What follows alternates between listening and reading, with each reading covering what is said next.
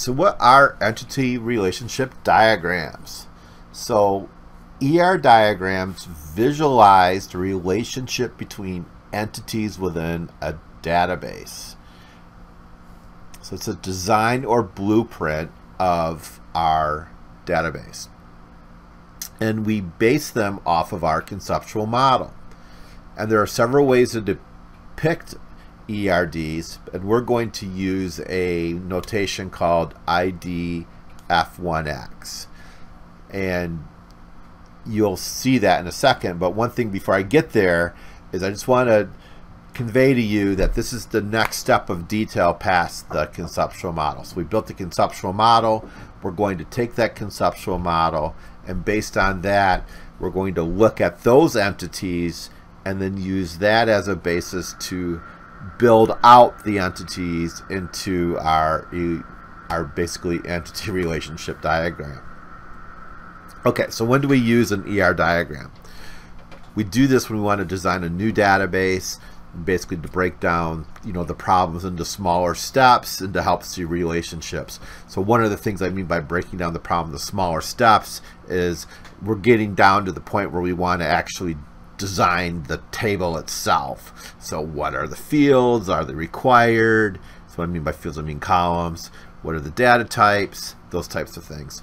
Also, when you get a very complex database, it can help you to debug the database. It can help you see how tables from end to end in the database are related to one another. So if you have complicated joins, looking at an ER diagram can help you map out that process by graphically representing the database structure. So it's pretty cool. So let's start with our first step. Let's look at a entity relationship um, diagrams table. And this is using the, the notation that I mentioned. So one of the first things I want to point out to you is the table name. The table name is shown at the top. Okay, so we have the table name.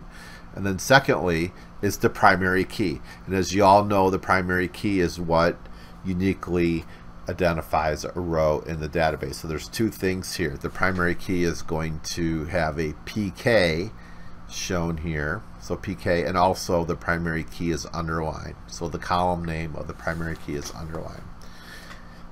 And then third, you'll see that the columns are listed going down. Now, Alternatively, we can also have columns with variable um, data types, but I didn't put the data types in on this table. Uh, just from a point of view of that, at this point of working with the entity relationship diagram, I think it's more important to get the relationships and the column names down. And as we, when we actually get to writing the actual scripting of the database, it's usually when I work with the data types. So here's what the relationships look like and the notation. Some of this should look very familiar. So you're going to see the crow's feet notation again. So it's a one-to-many relationship. But what is it a one-to-many relationship of? Well, there's a couple hints here to help us find that out. First of all, there's the store ID on the store table. It's primary key. So there's one store ID. So it's one to many and there's a foreign key so it says FK and then we named it store ID so this actually really helps with readability also because we're using the same IDs if I would have called this like I don't know um, building ID you'd be going store ID there's a building ID I don't know how they relate but if you start naming the columns the same names it actually starts to read like they relate and they actually do. And it makes your data structure readable and, and that is so important and everybody's going to love you for it. So in this case when I have a primary key that store ID and I have a foreign key value that store ID I immediately can see that I have a one-to-many in my table. And in this case here too you see it with the one-to-many relationship with the crow's foot.